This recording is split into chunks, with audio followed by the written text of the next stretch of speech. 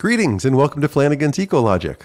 I am your host, Ted Flanigan, and joined again by Tucker Perkins, the president and CEO of the Propane Education and Research Council. He also has a podcast called The Path to Zero. Uh, he was a guest of ours in January of 2023. He's got a new book, and we're going to be talking about his new book and some of his latest perspectives on why propane is important in the transition to a carbon free future. Hey, Tucker, welcome back to the Flanigan's Ecologic. It's really good to see you again. Ted, it is wonderful to be back, and I'm looking forward to our conversation. Very good, very good. Well, it's going to be short and sweet, and you've got a new book out, so we want to talk all about the new book. Uh, it sounds like you are you've taken a number of episodes of your podcast, number of your guests. You've got now you said 100 and, you got 103 podcast episodes, and you've taken some of the most influential conversations and put them into a book. Is that correct? Yeah, Ted, you know, as we as we kept working through the podcast, we kept realizing that maybe we were having a discussion with our guests that I didn't see when I read the papers and didn't see when I, you know, watch the news at night. And we really wanted to tell the story about how we really do have the ability to get to path to zero, how important it is to listen to the innovators.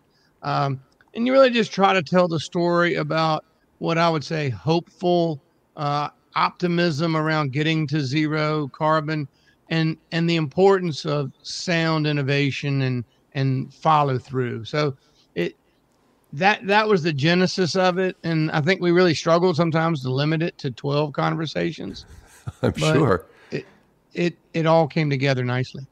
Yeah, and I've already introduced you as the, you know the head of the uh, Propane Education and Research Council, and we in our last podcast we talked all about the benefits of propane. But certainly, one thing that strikes me about you, Tucker, is that you're very articulate about our goal and the goal of getting to to zero carbon in our energy infrastructure, but the practicality of in this transition, not forgetting about some of the most important important aspects. It's got to be affordable it's got to be equitable.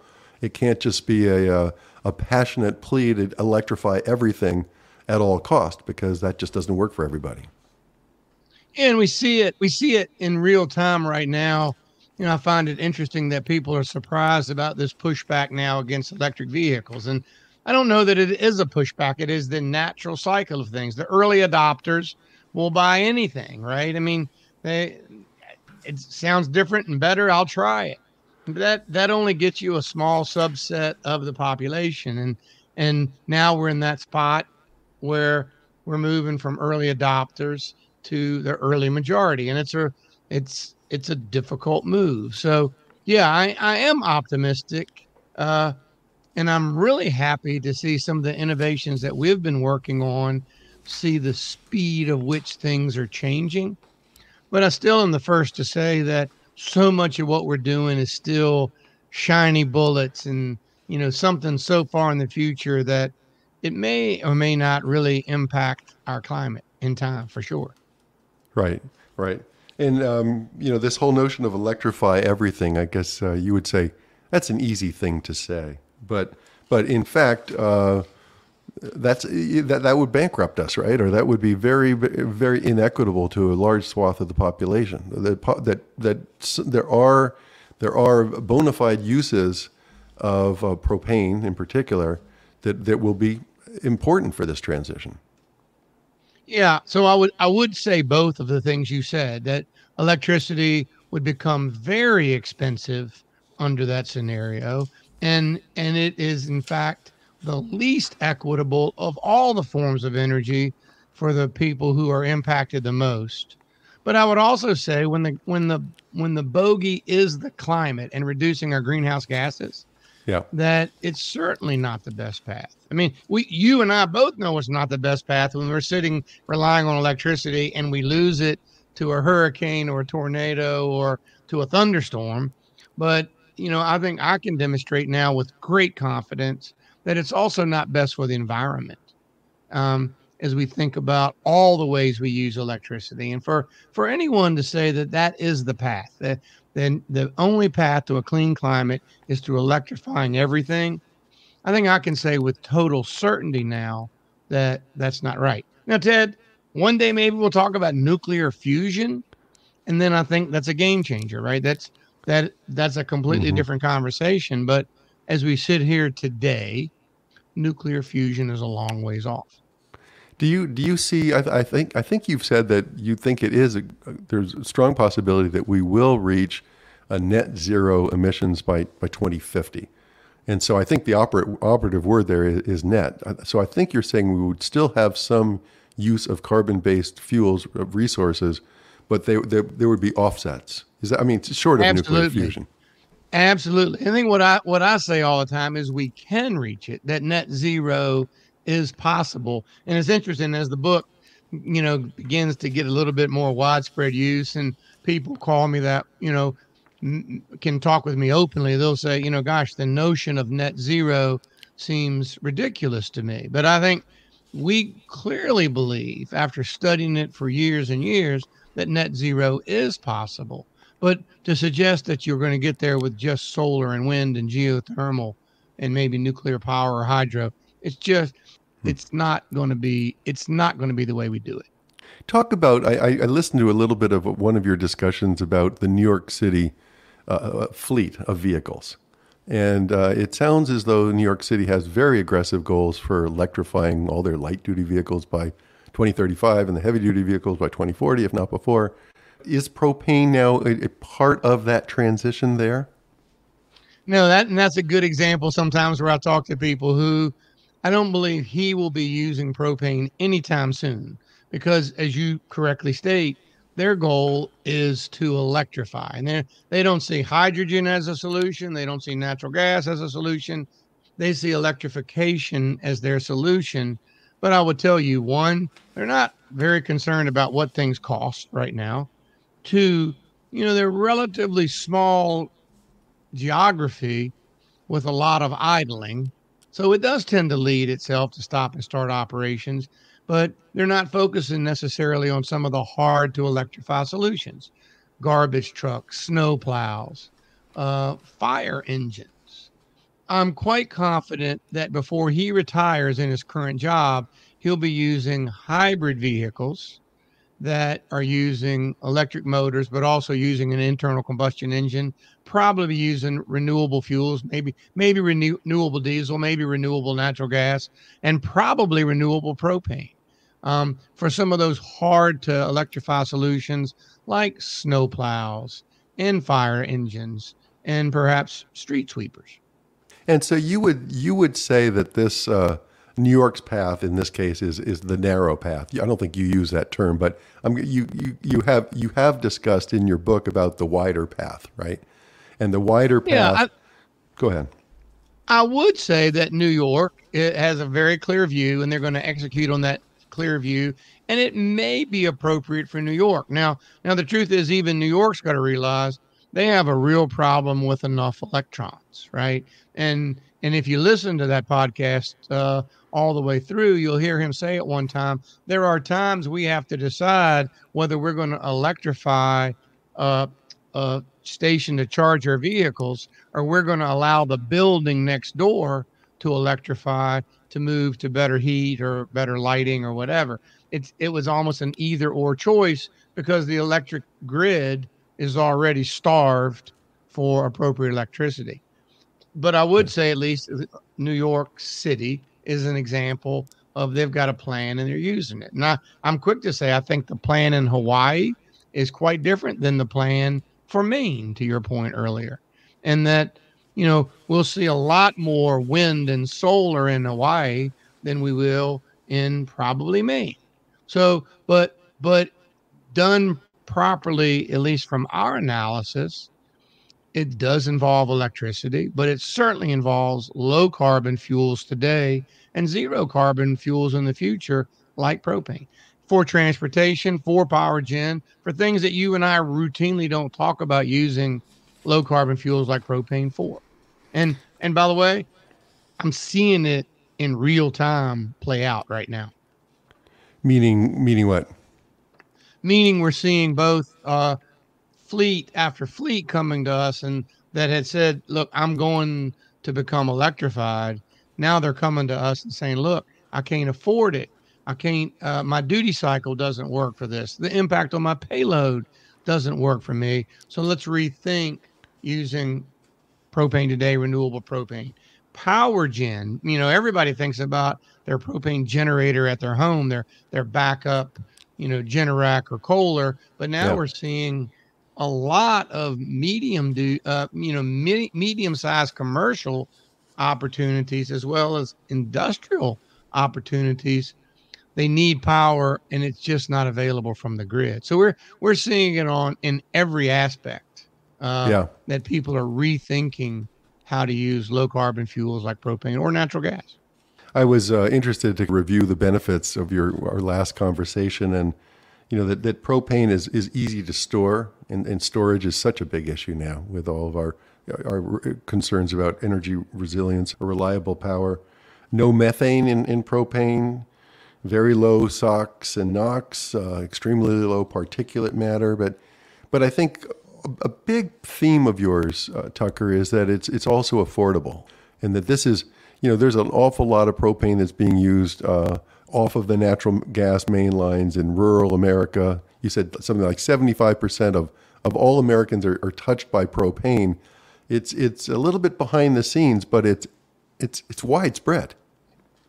I think the question I routinely get is I understand that propane powers my grill, but how is it going to change the environment in which I live? How is it going to radically improve not only my life, but the environment in which my children and I live. And I'm I'm really happy to see we're, we're beginning to see it unfold in front of us. And I, I love that you called out all those attributes. The last attribute that you did mention, but I think it will too become quite prominent, is as we think about energy security, not just having enough energy, but do you do we have the resources in front of us? And we, you know, it's front and center every day as we think about batteries, right? Bat- battery materials, battery technology. It's not really in the American wheelhouse right now. In fact, it's not even in the wheelhouse of countries that are friendly to America. Propane, on the other hand, and natural gas, we're we're completely linked here. You know, we're it's a domestic thing. Uh, we produce the most propane by far of anybody in the world. We also use the most propane of anybody in the world by far.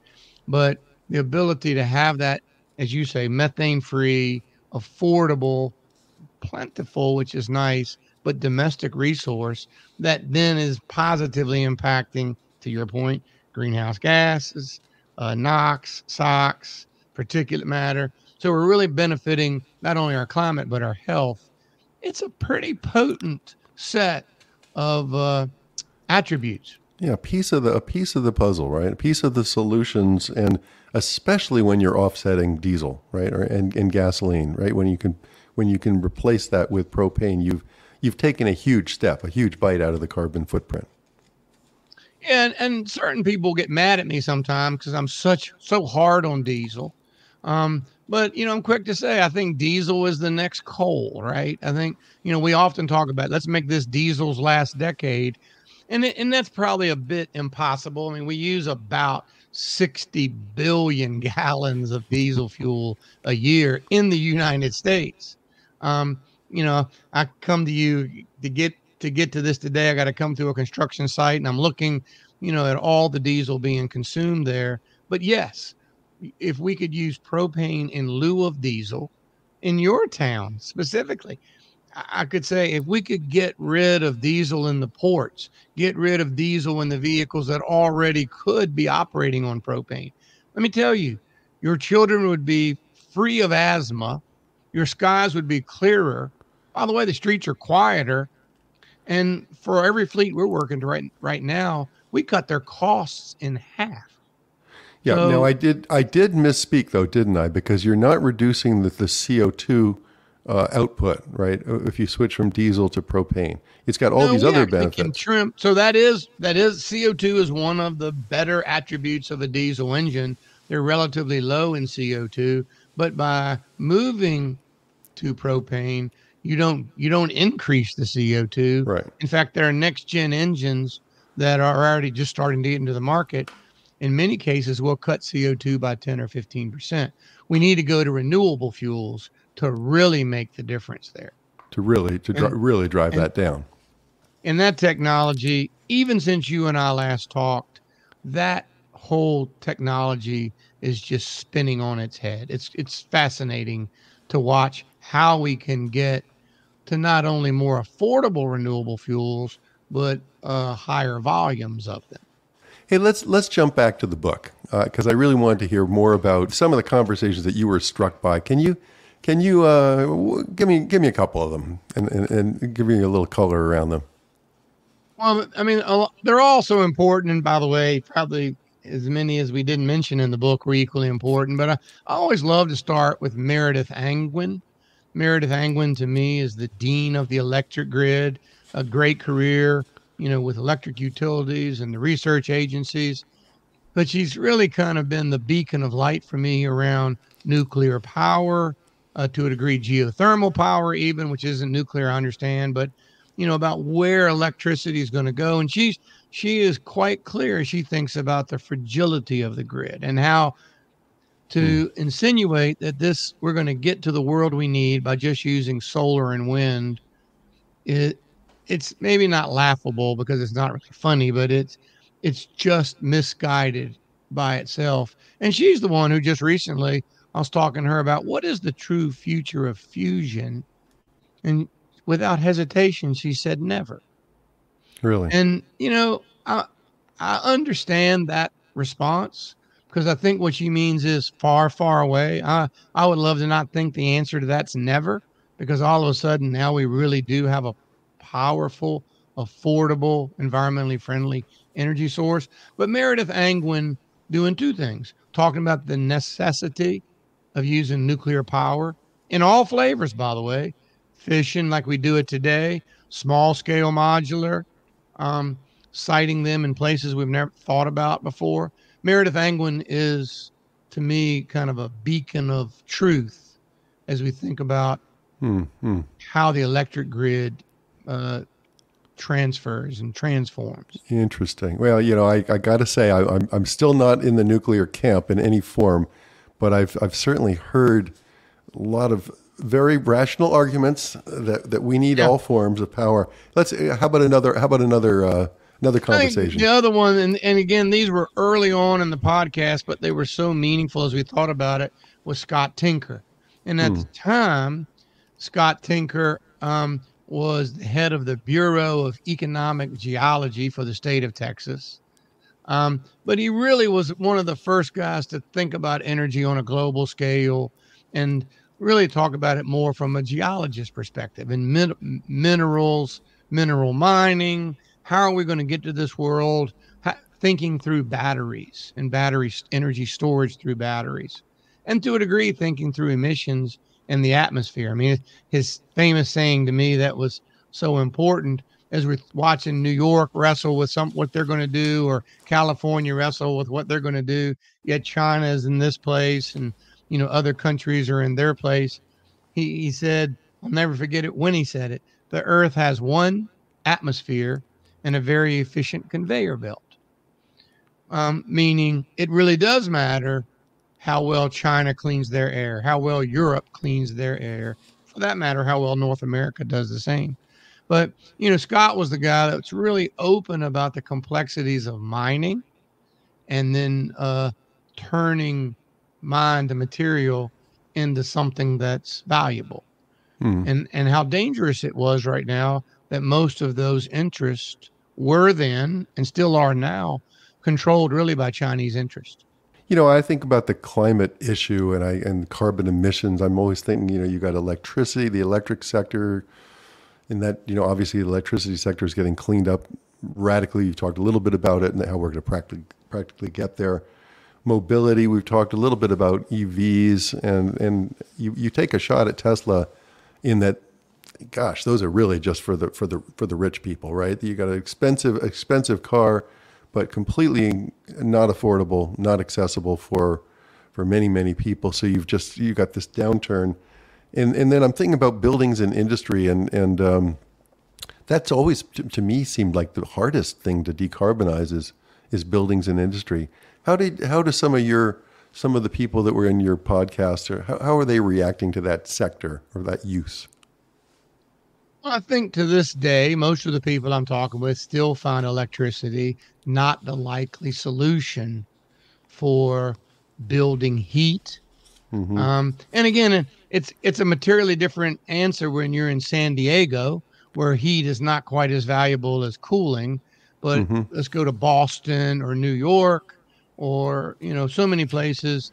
But most of the people that I have talked with still see a real value in low carbon fuels today, like propane, being the fuel that makes your buildings warm and heats water when it's cold. Mm-hmm. And you know, I think where we've come with uh, efficiencies of boilers and and uh, now we talk about modern combined heat and power. So these are boilers that capture the waste heat, produce power from that.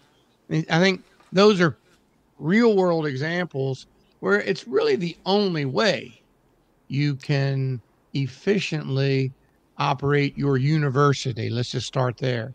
Um, and and operate a a, a gym uh, where you have a huge demand for hot water.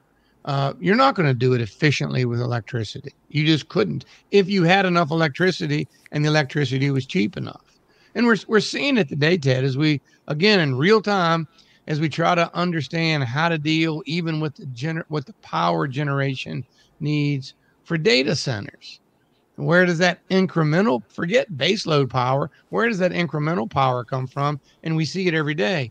It's not coming from solar and wind, it's coming from the dirtiest sources like coal and oil.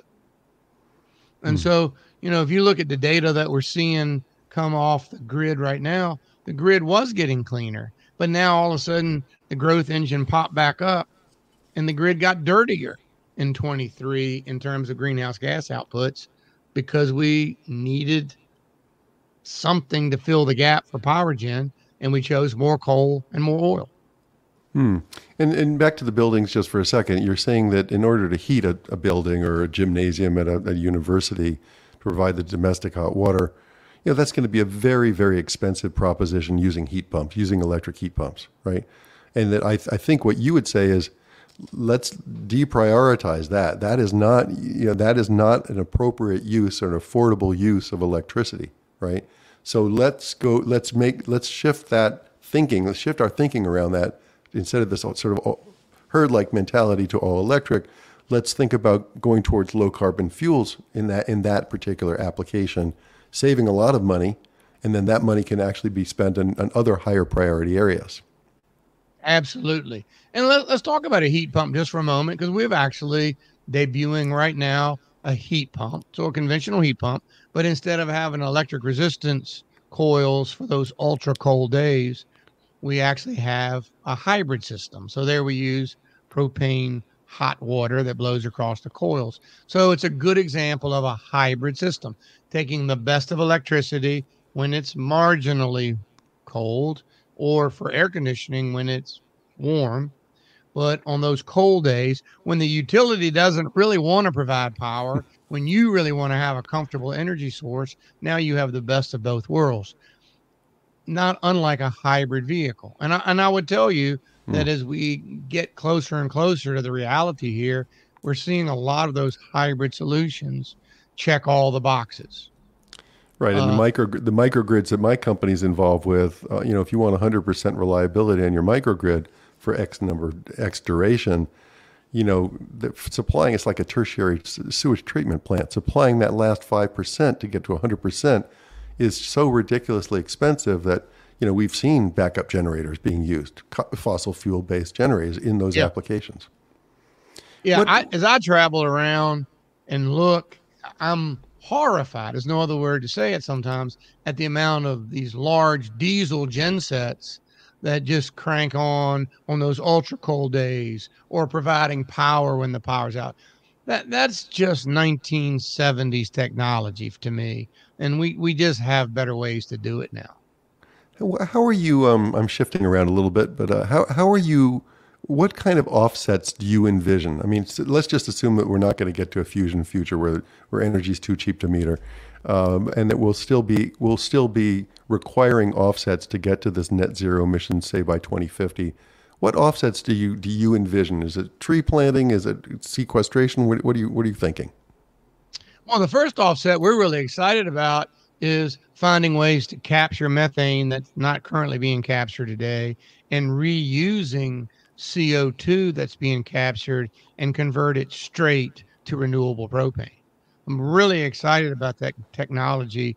And we're, we're now in partnership with Department of Energy on a couple of projects and a couple leading universities in the US and then a couple outside of the US as we as we see ways to use electrochemistry to directly convert CO2 or methane that previously were just going to escape into the air to repurpose them into renewable propane. So we're really excited about those sources. But we we do see we're we're we're deep into trying to think through carbon capture in a different way because again you would believe we we need to capture the carbon that we've emitted uh, and then repurpose it if we're really going to get to a true net zero. Are you are you do you have do you hold much promise for the carbon sequestration, you know, air to air air capture of carbon? Is in direct air capture, true DAC. Yeah, um, yeah, it's expensive stuff, know, I guess, at this point, right? Yeah, no, I um, you know, at least everywhere I read, I don't, and I, I, I fully understand pumps and filters and all those things. But again, you look at the energy consumed yeah. for the benefit created the math doesn't quite equate to me yet. But I see mm-hmm. smart companies, um, Occidental, you know, leading that list that I think they think they can do it. So I'm I'm always hopeful yeah. for innovation. And by the way, I'm I'm I'm a living proof that things that you're studying in the lab all of a sudden have a massive change for the worse. So you throw it away or something happens that you didn't quite understand for the better. And that's where we are with some of this electrochemical shifts of CO2 to propane. It, all of a sudden we read, and I'm talking about processes that are commercially viable and really affordable. You know, I think I think we we have always had two feet on the ground for affordability because we see it every day that our consumers won't pay much more for an environmentally superior product. No matter what they say, when the, when it really comes down to voting with your wallet, you have to be in bounds. Uh, they have to be able to touch that value created because they won't pay a tremendous premium for an environmentally beneficial product. Right. Yeah. And and as you've described and, and articulated so well, there, there's a moral certitude that that we should go all electric, whereas the scientific facts and the I think you would say the economic realities are that there needs to be more thinking along those lines. I wanted to just ask you one more question about the book and and you know you interview this is based on 12 different interviews you've done. The book is called The Path to Zero. What would your authors, if we had them all in the same room, what what would they say the biggest challenges as, as we are on this on this wide path to zero? Oh, I don't think there's any question that they would all quickly agree that once they get beyond their own technology, it's about human factors and having people accept doing something different. Right? I see it. We I, I see it every day. You can have the best solution. Um, it can be positive for you, positive for the environment, perhaps uh, economical, but it's not the way you did it 10 years. It's not the way your father did it. And so there's just this general reluctance to change. And I think that's that is quite certainly uh, the biggest barrier we have to adoption is our own we, we get in our own way too much uh, and we're not willing to make that change well, and then you're, and this takes us right back to what you do professionally, which is to educate, educate, educate, educate. Just the steady drumbeat of raising raising awareness, one one mind at a time. 25 years ago, when we created this Propane Education and Research Council, there was no thought given to talking to our own industry or talking to consumers about how to use these new technologies. It was we'll create these technologies, we'll educate plumbers or architects or engineers. We'll not need to to convince the final end users. And what we see today, yeah. we we need to spend almost uh, an extra dose of time with yeah. the end users, whether it be fleet managers or building owners or homeowners, because this whole different way of doing things, it really is tough for us as humans and individuals. It really is true. It really is true. Well, thank you so much for what you're doing, educating me, educating our listeners, uh, educating your listeners as well on this path to zero. I think you raise so many so many good points, uh, value, value valuable points about about making priorities, about making sure that this tent that we're this tent that we're putting around us is uh, is open to all and uh, accessible to all. Well, I love talking with you. I, I know what you do in your day work, and I mean that's so important. But you know, you're you're one of the longer running podcasters, you know, in in the history of podcasting, and it's kind of easy to see why. So I, I appreciate the conversations, and I look forward to having more. I do too. So great to see you. Thanks so much. That's it. Thanks for listening to Flanigan's Ecologic. We'll see you next time.